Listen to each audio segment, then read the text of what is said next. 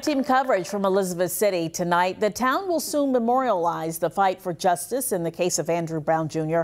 Alex Littlehales shows us how city leaders are moving forward with transforming a prominent city street into a work of art.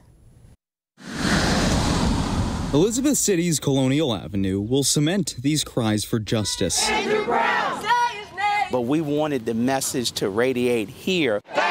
City Councilman Darius Horton called for change at Monday's City Council meeting and got it. I, added it to the agenda as an uh, amendment, and basically I just spoke from my heart. With us not having direct involvement with the incident of Mr. Brown, it is very important that we as a council assure uh, our constituents.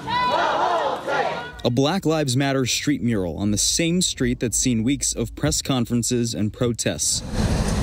After a 5 to 1 council vote, the city agreed to turn Colonial Avenue into a long lasting symbol. A streetscape memorializing Brown's death at the hands of Pasquotank County deputies and his family's ongoing fight for justice. There are members of our community that feel like they are not taking our best interests at heart. This street uh, has set a precedent. Councilman Horton called the initial vote, and most of council followed suit. But it's unclear the cost this new mural would cost the city. Cost doesn't mean anything to me. He says he knows not everyone will support the mural, but argues the city has already spent money on policing efforts on the protests anyway. Protests in the city. So we're already spending money.